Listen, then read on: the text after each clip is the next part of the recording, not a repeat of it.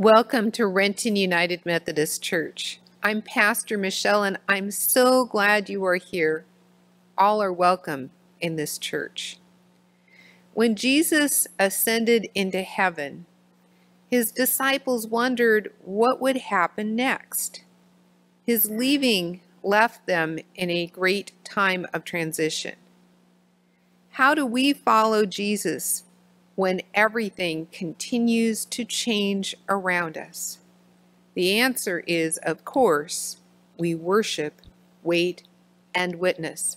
And today we will explore how we do those things. I invite you to stand as we sing our hymn of praise, Immortal, Invisible, God Only Wise, and we welcome Francis as our song leader. Thank you, Francis.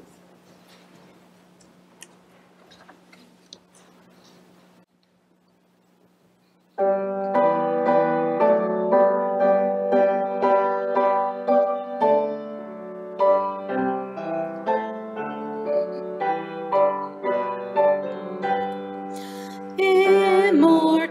invisible, God only wise, in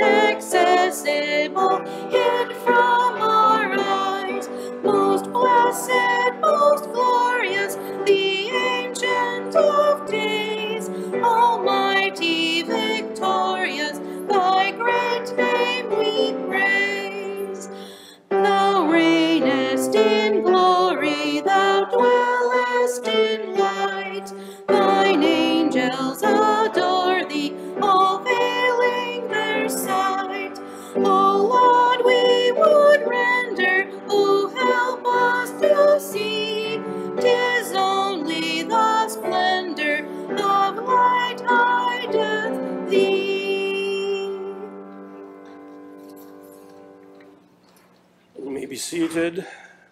Morning, everyone. My name is Tom Jenkins, and I will be your liturgist this morning.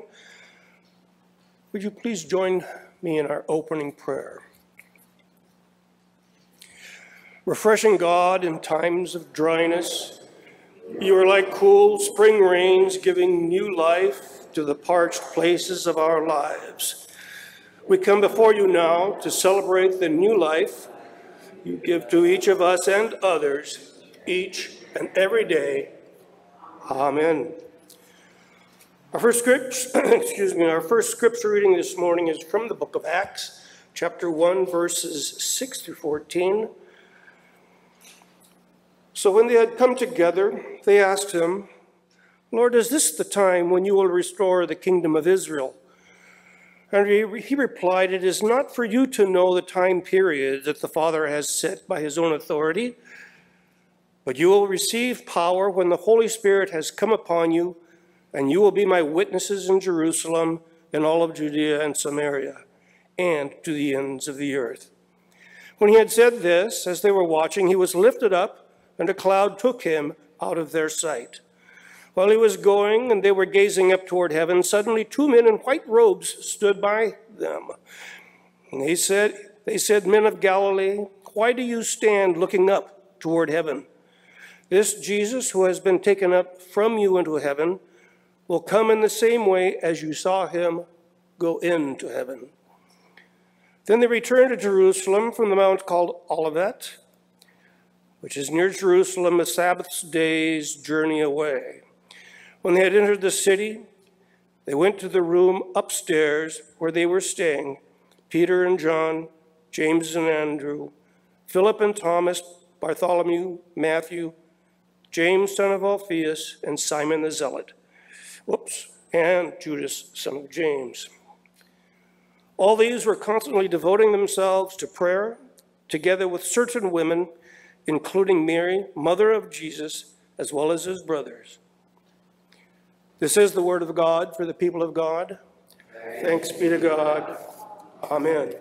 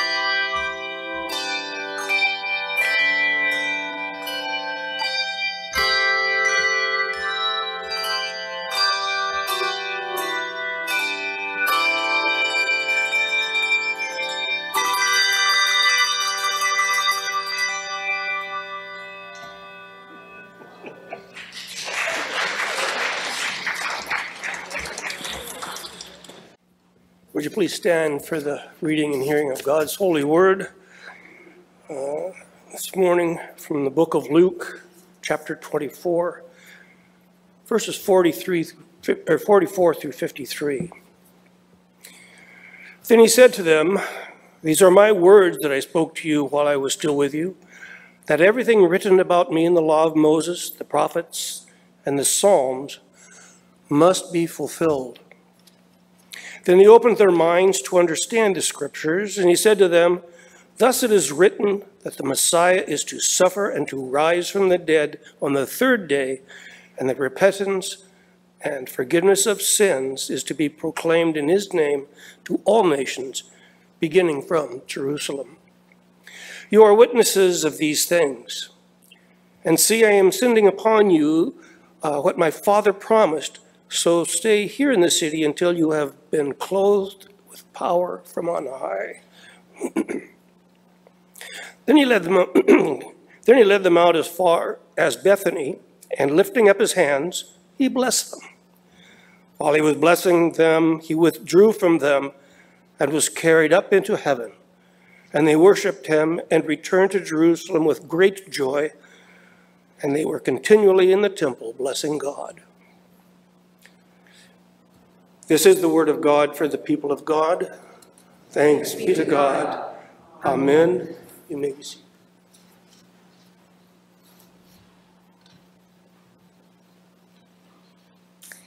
Well, it's Ascension Sunday, so that must mean that another school year is rapidly ending and we're moving into summertime and schedules will soon be shifting.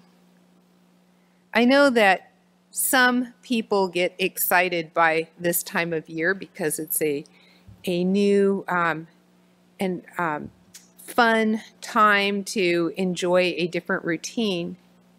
But sometimes tr transitions are difficult. We know this in life. We know that there are things that happen, job transitions, moves, sometimes we have transitions in our um, the abilities of things that we're able to do or not do. We know that transitions can be difficult when we look in our community and world around us and we see how things are changing. This time of year reminds us that it, the question is not whether change will happen. The question becomes how do we respond to the changes and transitions in our life and in our world? Detours, changes, transitions happen, and sometimes they all happen at once. What do we do? Where do we go?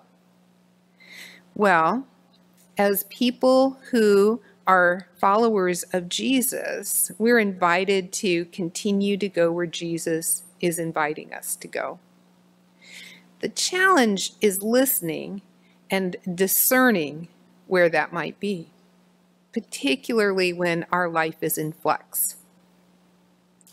One way that we are able to listen and discern is to remember where Jesus went and what Jesus said. And that's why we took a pilgrimage during this Easter season, so that we could figuratively follow in Jesus' footsteps and be reminded. But where would Jesus go now? What would Jesus do at this point? As we follow Jesus with his disciples, during Easter, we remembered and celebrated his many resurrection appearances. Their time together was joyful, but Jesus wasn't with them terribly long. The disciples would still have many detours and changes and mega transitions in front of them after Jesus left. But his appearances with them helped them to find their equilibrium again. And that helped them in their times of transition to better discern what to do next. When life is stormy and filled with changes, Jesus helps us to regain our center and helps us to navigate our challenges too. And so we continue to look for Jesus. We, we continue to ask, what would Jesus have us do? But sometimes we get stuck. We're stuck in one spot, kind of like our scripture, where the disciples, when Jesus ascended into heaven, were stuck in one place and looking up. We know that Jesus is in the world around us, and we experience Jesus through love with community. The question then is with Jesus with us, how are we able then to discern where to go next?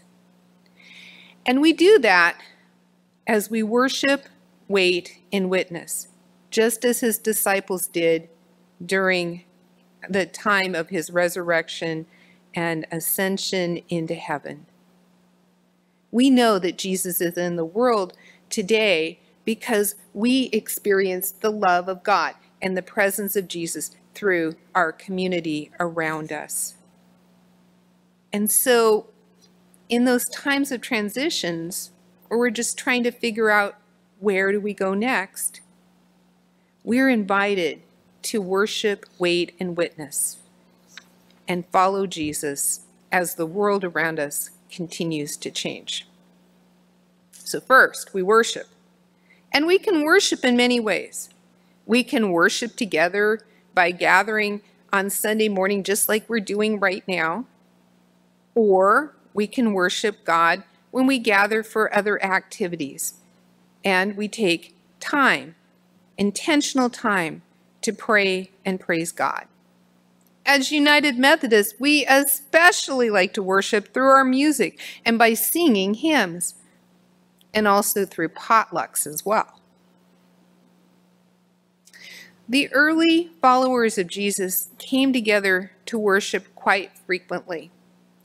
And when they came together, they would often share a meal, just like United Methodists like to do.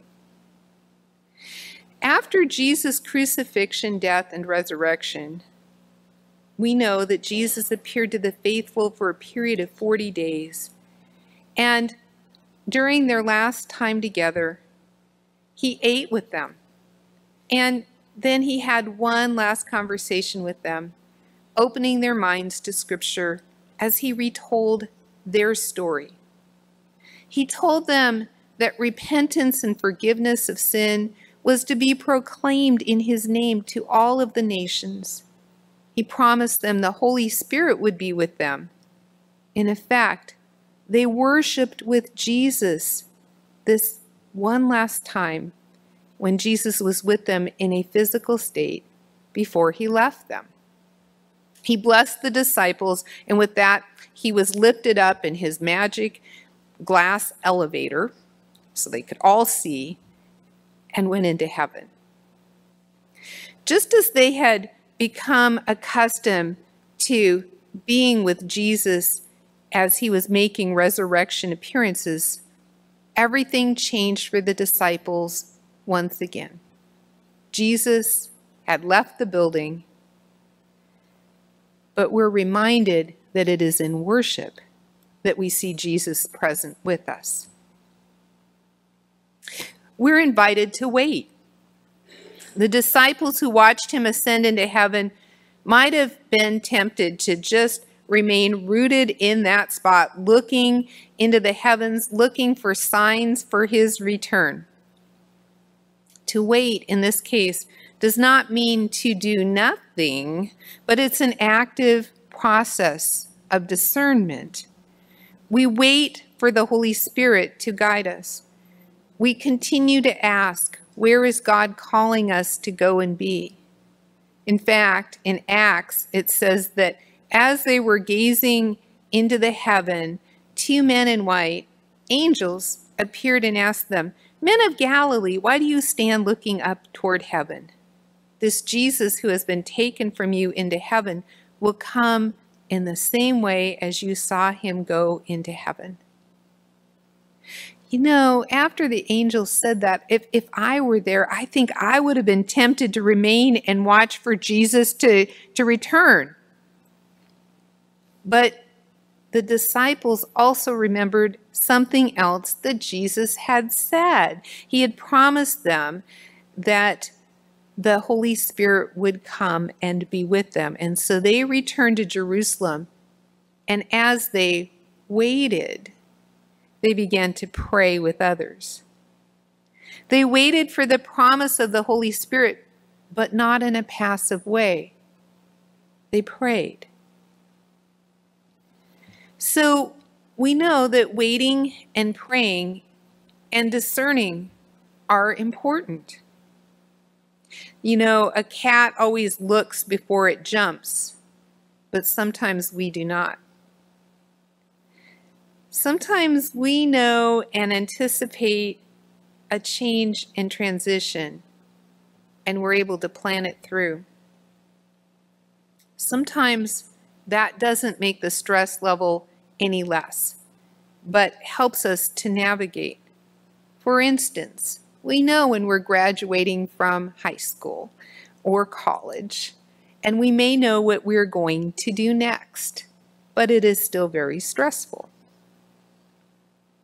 And sometimes we just find ourselves unexpectedly in a long detour. In those cases, we rely on our GPS because we may be flying blindly. And we just hope for the best that it's telling us the right way to go. I think about that every time when I am told to get on the express lanes. I hope it's right. There's a time when, years ago, when um, when our oldest daughter was very little, and Eric and I had, and our daughter had driven um, to meet family in Yellowstone. And after we were at Yellowstone, we decided that we would drive into the Dakotas because my I had uh, two living grandmothers, one in South Dakota, one in North Dakota, and um, and I hadn't seen one of them in several years and we were so close relatively, right? That we wanted to go. And so what that meant was um, we, we left um, um, um, oh, western South Dakota um, early in the morning, and we had to get almost all the way across South Dakota. But um, there was, of course, um, it was summertime, so there were tornado warnings happening all around in the region. And I, told my husband, ah, it's okay. We'll just, you know, we'll just be situationally aware. Of course, you know, when you do things in your 20s that you wouldn't do at this age, right? Um, but but there we went. And I was thinking, as long as everything worked out, we should get into place and, and all will be well. What we didn't anticipate was when we left the interstate and were headed north, that there would be a detour because they'd had spring storms and the road was washed out um, on this highway. And so it wasn't just a, you know, a short little detour, it was detour on country roads that ended up being a 100 mile detour when all was said and done. Well, it worked out okay. We're here, we're fine. But we didn't know.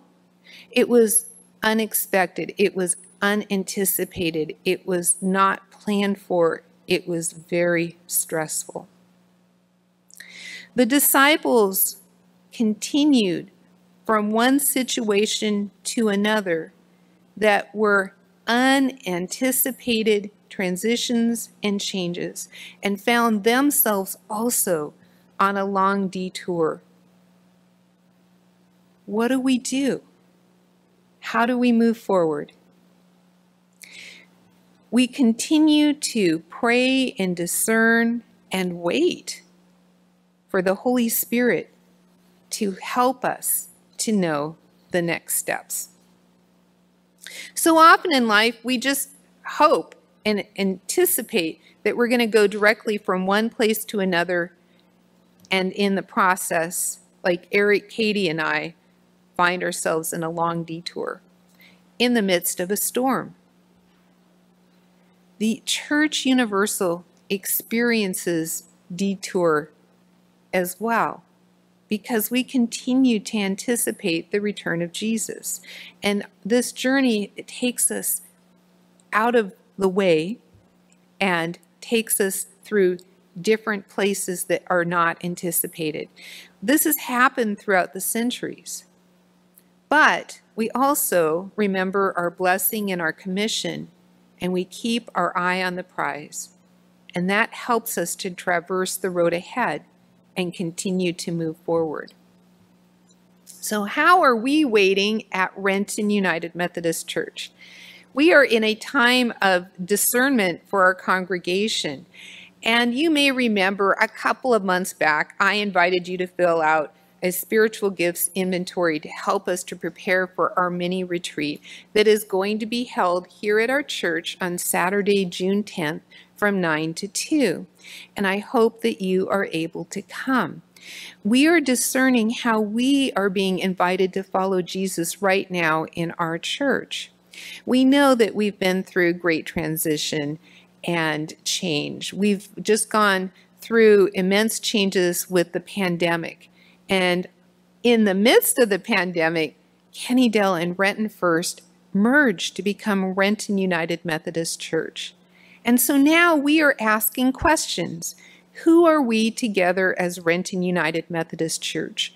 Where is Jesus leading us? What is next for us? And so we're going to work on those questions during our time on June 10th. We're going to wonder how are we going to continue to connect with our neighbors? What are we as church to do in this time, in this space, to help proclaim the word that Jesus invites us to proclaim? In many ways, we are waiting, and as we are waiting, we worship and we listen. We remember Jesus' appearance to the disciples and we reflect on his appearance through um, our, our pilgrimage and through our encounters with others. Waiting is not static. It is certainly a dynamic time, and interesting things happen. Waiting can be exciting as we think about the possibilities ahead in our future together. And we do this with great confidence because we know the Spirit of God resides in us. God, who is our tree of life, is with us, and we are rooted deeply, and we find nourishment in this tree of life. Though we may not know what will happen in our future, we know that God will continue to guide us as we wait and listen. Okay, so we have waited and we know that we cannot remain rooted in one spot forever. We need to continue to move forward. We know that transitions are never easy at even in the best of times when we've planned them, but we know that through our community, we feel Jesus present with us.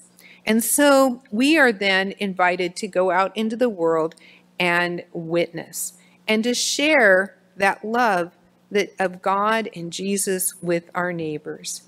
And so right now we are at a point where we are able to reflect what does that witness look like? How do we do that? And we have been doing that in many different ways, including our neighbor to neighbor, where we are able to um, bring different items in and we share them with the community.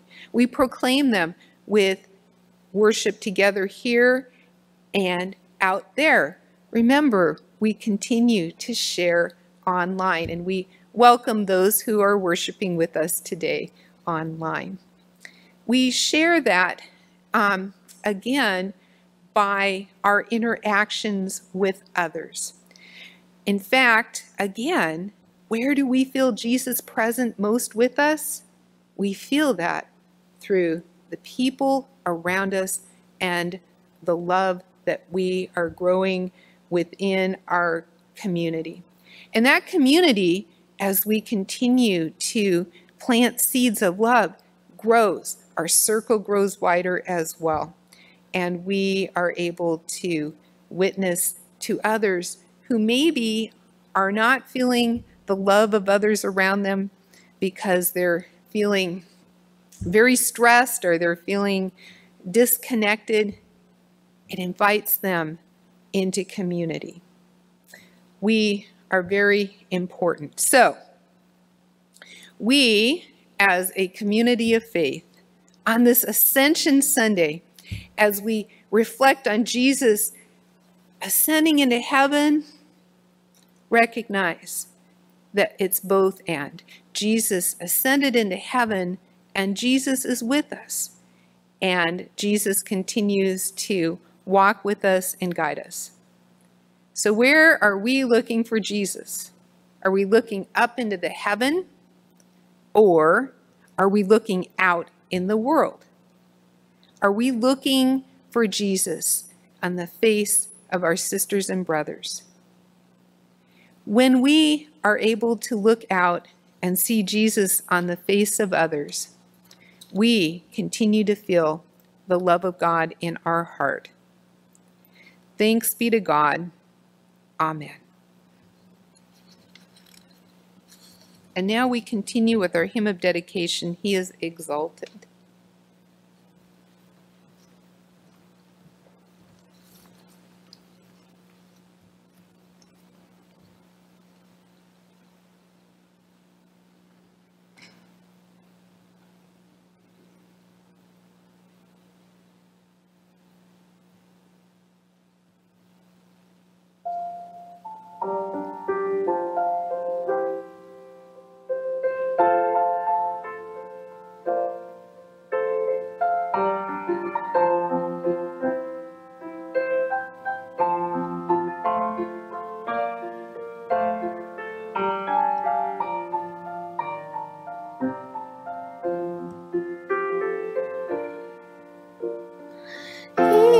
Exalted, the King is exalted on high.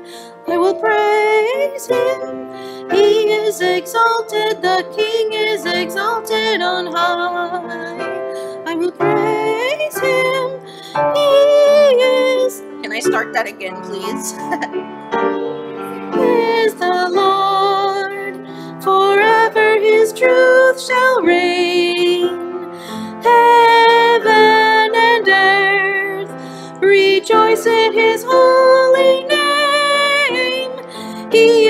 Exalted, the King is exalted on high. He is exalted, the King is exalted on high. I will praise him. He is exalted, forever exalted, and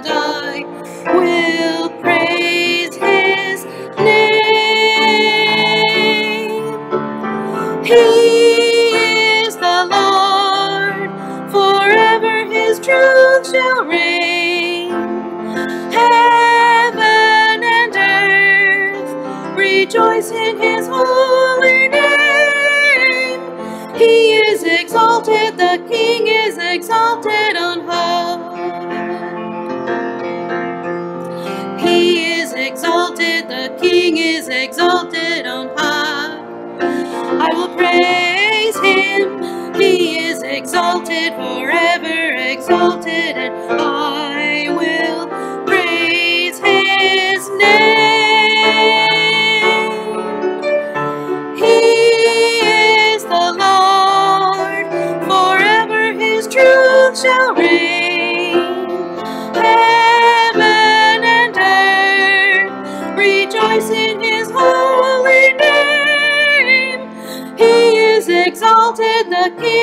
exalted on.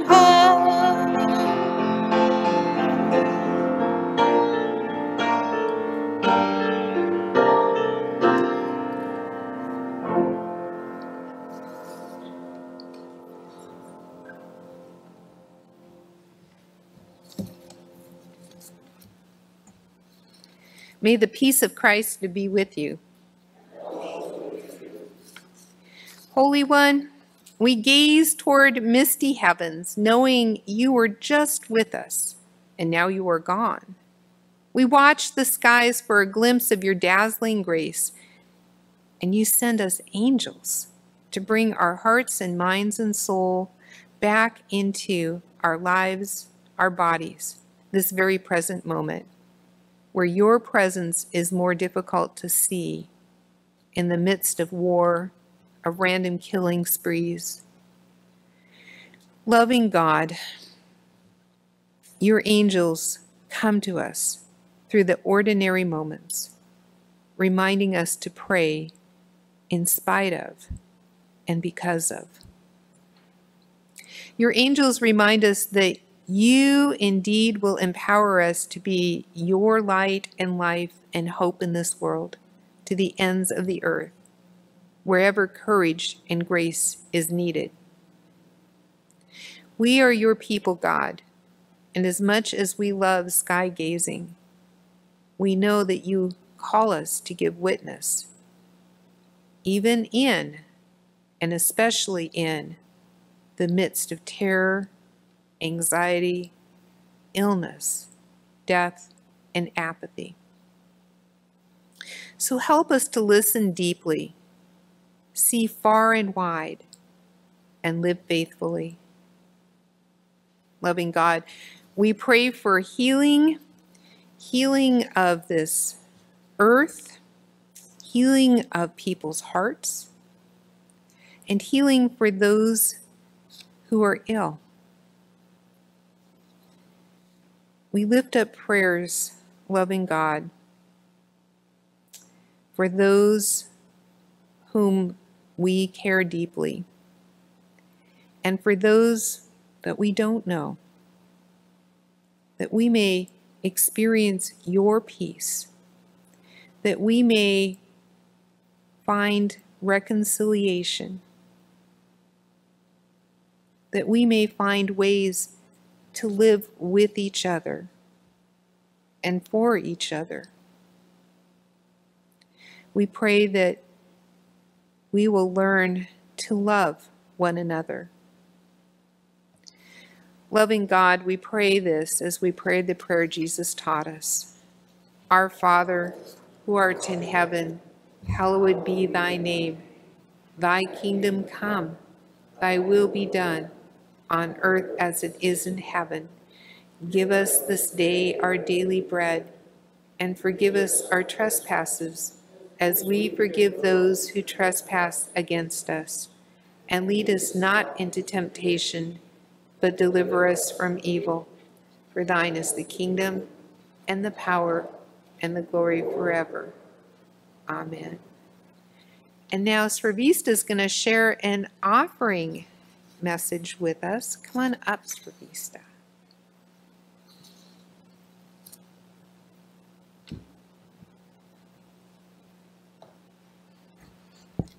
Hello, everybody. Um, I just want to remind everyone that even though um, we may not always have physical gifts to give, sometimes we have um, gifts of ourselves to give. Um, I would like to invite any women who are interested to join the women's choir that will be singing for Father's Day. Um, they will be we will be rehearsing that group right after church on Sunday, June 4th and Sunday, June 11th. So please share with us the gift of your voice and share with all of our fathers. Thank you.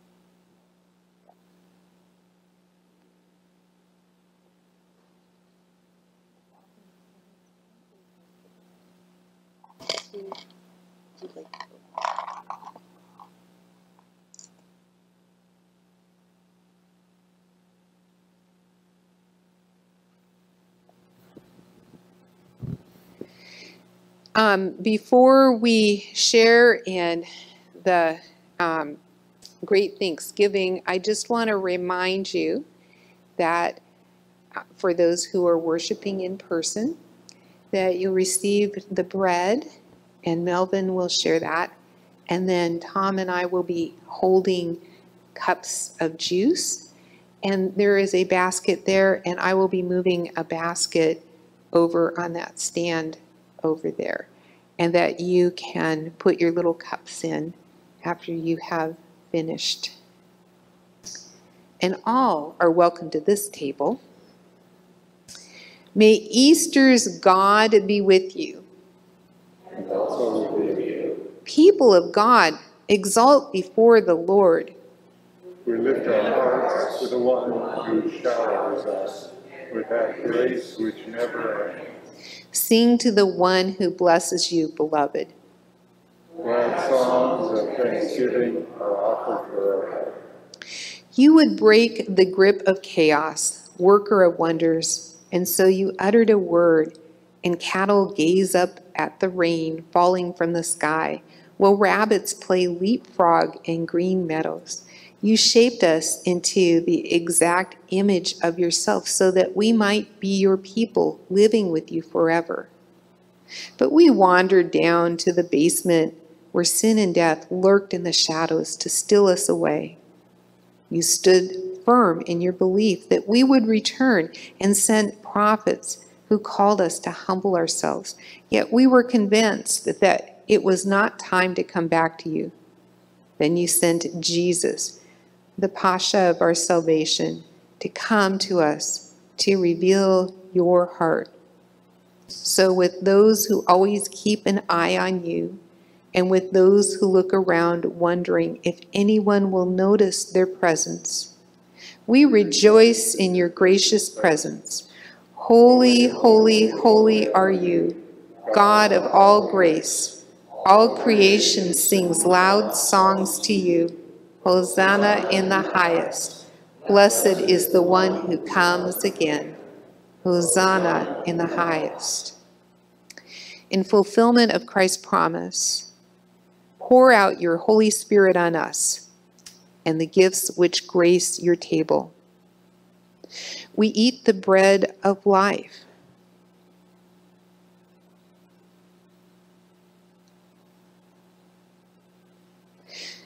So we might be strengthened to spend ourselves so others may be rich in your grace. We drink deeply from the cup, knowing you thirst for self surrender, so we might offer ourselves as a fountain of faith to be poured out for the world, especially the we forsaken who are all around us. And at the great wedding feast of the Lamb, we gather around your abundant table our sisters who suffered for you on one side, and our brothers who humbled themselves to lift others to their feet. We will join hands, hearts, and voices in forever singing your glad praises, God in community, holy in one. Amen.